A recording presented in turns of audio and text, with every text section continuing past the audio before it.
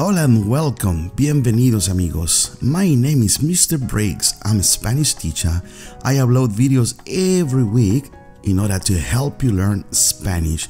Some of these videos are very brief, so if you set aside, you know, a few minutes every day, you'll be able to learn some of these key sentences and little by little, you'll be able to enhance your vocabulary and you'll end up with a wonderful vocabulary repertoire in Spanish. Today, we're going to learn how to ask a very important question in Spanish. Have you ever had the experience that somebody said something way too quick, very fast, and you couldn't really understand what they were saying? Sometimes that happens even in our own languages. Well, if that happens to you in Spanish, how would you ask somebody, Can you say that again, please? But in Spanish? Easy. ¿Puedes decirlo de nuevo, por favor? Can you say that again, please? ¿Puedes decirlo de nuevo, por favor? Excelente. You can also ask, ¿Puedes repetir, por favor? Can you repeat, please? ¿Puedes repetir, por favor? ¿Puedes repetir, por favor?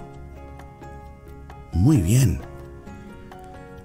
Or you can simply say, repite, por favor, which means repeat, please. Repite, por favor. Repite, por favor. Repeat, please. Repite, por favor. Another way you can ask somebody to repeat what they just said is, dilo otra vez, por favor. Dilo otra vez means say it again. And por favor means, obviously, please.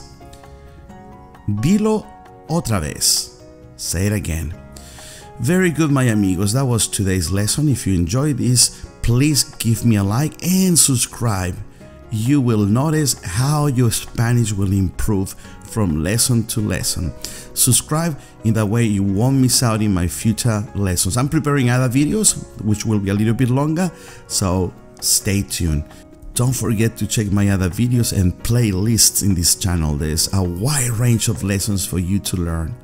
Very good, my dear friends. It's been a pleasure. And please take care, look after yourself, and we'll see you next Friday. Adios.